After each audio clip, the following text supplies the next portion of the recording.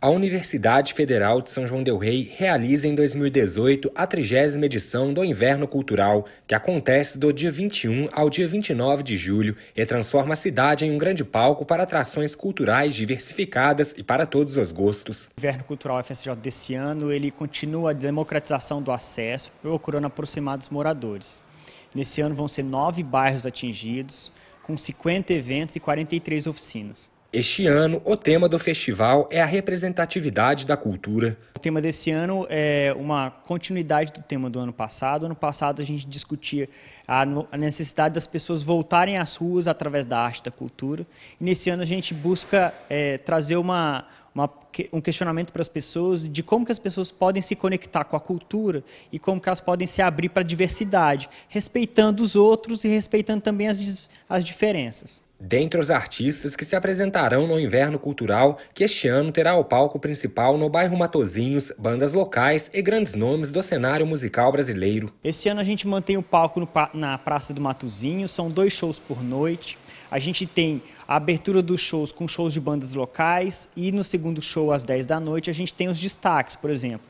Diego Moraes, que foi é, uma revelação da música brasileira no programa Ídolos e hoje tem o primeiro álbum autoral lançado no Inverno Cultural. A gente tem uma rapper de, de BH chama, chamada Tamara Franklin, que vem também trazer o seu primeiro álbum para São João Del Rei. E tem uma banda famosíssima na cena cultural do Rio de Janeiro de rock, que chama 909, que já abriu grandes bandas nacionais. As oficinas também não ficam de fora da trigésima edição do evento. Serão dezenas de oportunidades para expandir o conhecimento. Nós estamos com cerca de 43 oficinas e aproximadamente 1.500 vagas, é, sendo que 70% dessas vagas são destinadas ao público infantil. A gente tem uma preocupação com a formação também, né? não só com o público para os eventos, mas com a formação artística também.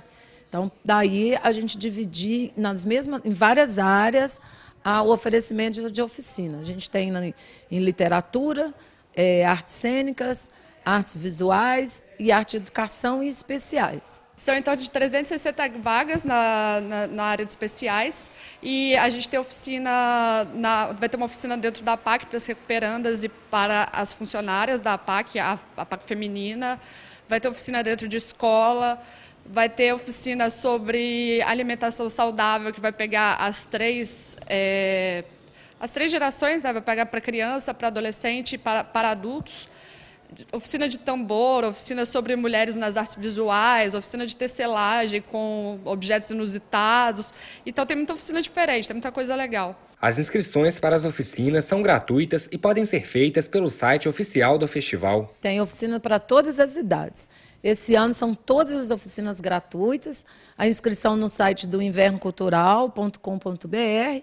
E quem tiver alguma dificuldade também pode vir aqui no Centro Cultural, no Largo do Carmo, no Solar da Baronesa, que a gente ajuda a fazer a inscrição. E uma das novidades é um espaço dedicado ao público infantil. É, o Ateliê Livre para as Crianças ele vai ocupar o espaço principal aqui do Centro Cultural, que é a, a nossa galeria principal. Então, vão ser atividades oferecidas durante os dias do festival, de segunda a sexta, na parte da tarde, em três horários diferentes com três faixas, atingindo três faixas etárias diferentes. Então, é só trazer as crianças. É, por turno, são 70 crianças, e eles vão desenvolver as atividades aqui ao longo desses dias. E depois, o fruto do trabalho deles vai ser uma exposição que vai ocupar a nossa galeria principal.